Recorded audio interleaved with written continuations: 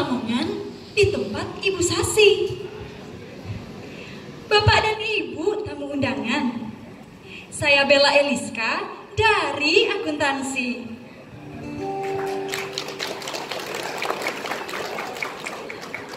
Pergi ke kantin membeli bakwan. Lepas itu membeli dasi. Kepada kakak abang calon wisudawan, saya Vidya Irsanti dari akuntansi.